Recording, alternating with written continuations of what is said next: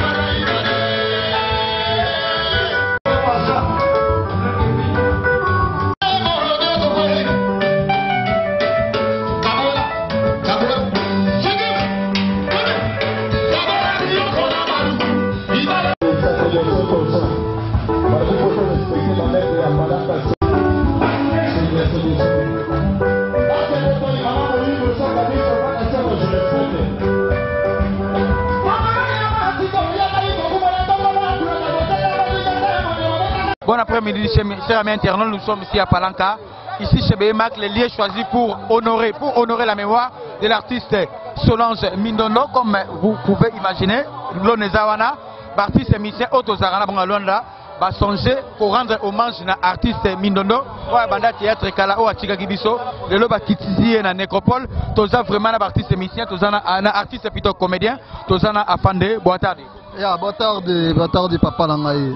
mbala liboso mopanzi sango ya mbona émission oyo tomoni vraiment organisation eleki bien euh, nouvelle wana ya mindondo solange akufaki esalaki yo ndenge nini atake artiste comédien bon ngai nouvelle wana ezwaki ngai na kisasa nazalaki vraiment na kisasa euh, nazalaki likolo ya mbetu euh, ba 6 heures nayoki message wana telefone esone ke mama mindondo akufi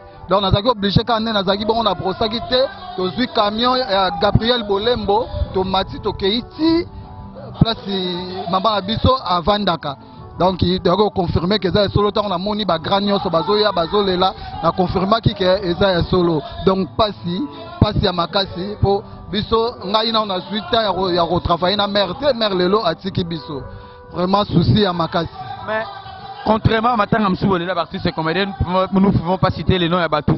Cette fois-ci organisation la bien. Bosaki ni pour le kende boy. Bon, alobi euh, meme biso bato tokolaka par rapport ya bane ndenge tozokende oyo ah, likambo oyo ezalaki ya mabe nabongisa kote oyo donc tour oyo ndenge omoni tobongisi boye lobi tokobongisa mpe na tolingi te kaka na batanga te donc na bafeti mpe omona organisation na biso baartiste en tout cas toza ini vraiment ini na toza ini awa na angola angola bato nyonso baza na monde entier batiaka biso ka biso awa na angola tosaka makambo ya minene ya minene mais ekendaka nango kaka boye cette fois-ci totelemi elongo na bakonzi baprésident ya bagroupe tozotambwisaka makambo ndenge nzambe aotinda esalama Oui. Merci beaucoup à Fan de moi de Mabanga Nabatouando à travers les mondes sur www.corodialogue.com parce que cette émission est suivie à travers les mondes. Je vous rappelle, chers internautes, sur www.corodionape.com de la grande dame de Belgique maman Francine Ngembe moi de mabanga euh, nakopesa vraiment bato basungaka ngai na mosika euh, Yolande Ntela nationalité hollandaise donc euh, euh, Diamant Sardoise euh, Fallon Thomas maman sociale euh, Juliana Muleka bisika oza bambote na yo ebele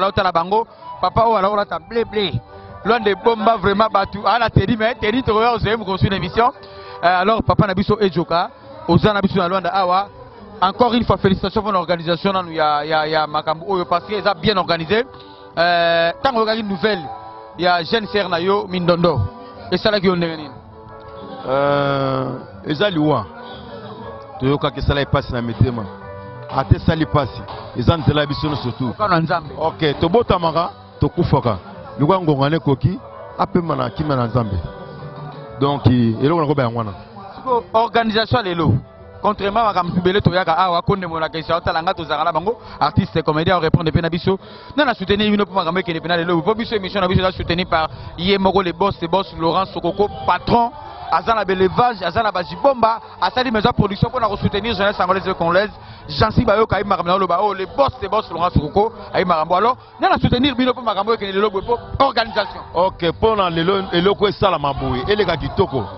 suti ezaka biso moko biso moko toleli ndeko na biso biso moko mpe tokoni ndeko na biso biso moko mpe topanzi kaka ndeko na biso do eza na moto atie biso mpo aza te oyo tokobwaka intel intel non aza te do biso moko mwa ba 5000 5000 osangisaka Ah, yango wana kaka yo oyebi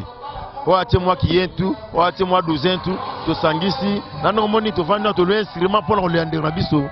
toza oyo te sponsor moko na nsima aza liboso aza te biso moko na tuka merci beaucoup papa ejoka autrement dit verambo banisaka mwa 2 3 staff présent euh, euh, euh, président na biso général major aza mpe alaloba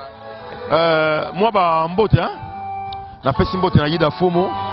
pourquoi pas na euh, g2 mercedes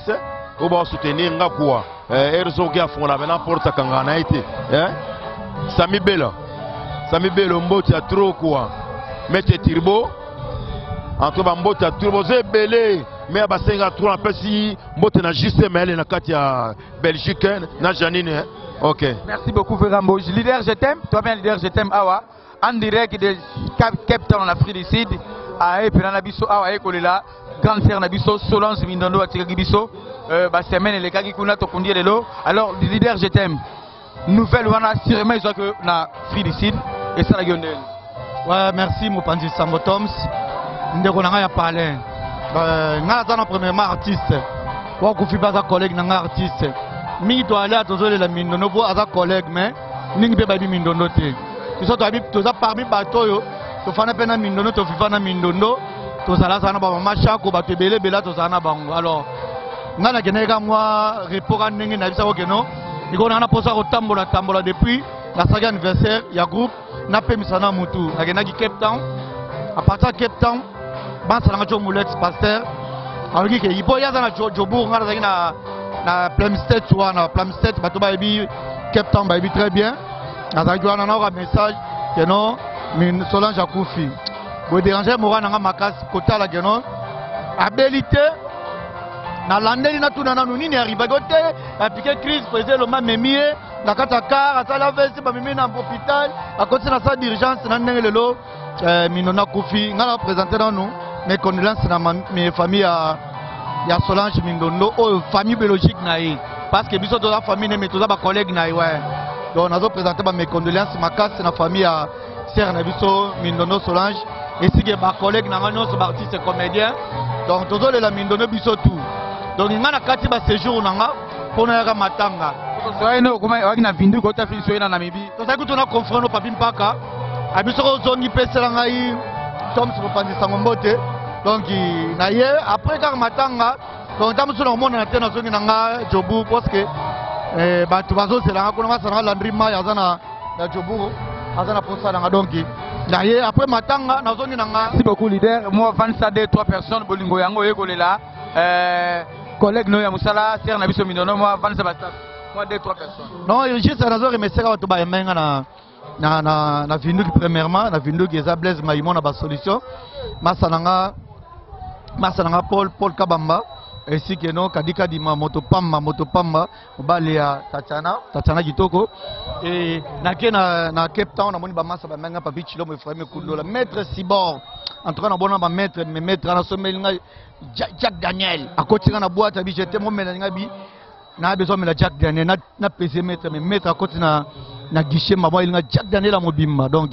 ba séjour na ngai passé ba tout ba yambanga ba tout ba minga tana zongi ba collègue na nga tout bana na nga ya groupe eh, petit na ngai Bruno Bruno aza président na minute aza dauphin na nga na pesi ba mbote belesi que no fanatique na nga mobimba kani na je t'aime Toujours na boulot, merci. Merci beaucoup, leader. Je t'aime. Nous sommes ici à Palanca, plus précisément chez Bébé Mac, les lieux choisis pour honorer la mémoire de notre sœur Mindono qui nous a quittés. Il, elle a été inhumée aujourd'hui à Nécropole, à Kinshasa, na Luanda, Bandeko Balexi Bolingo. Cette émission est sponsorisée par les boss des boss, Laurent Sokoko, Moutou Yambongo, Babi Yende, Moutata Kopesa Makam Laurent Sokoko, Jansi Bayoka Aebi, alors qu'on démola qui s'y peut, artistes et comédiens,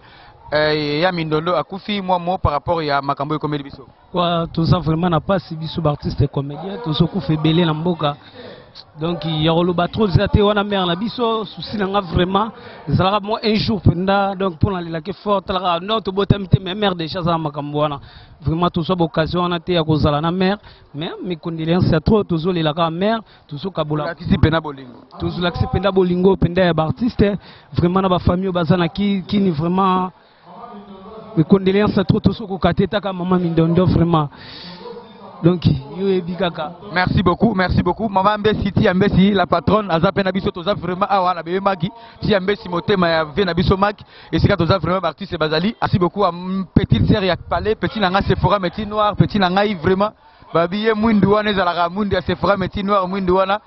tokende wapi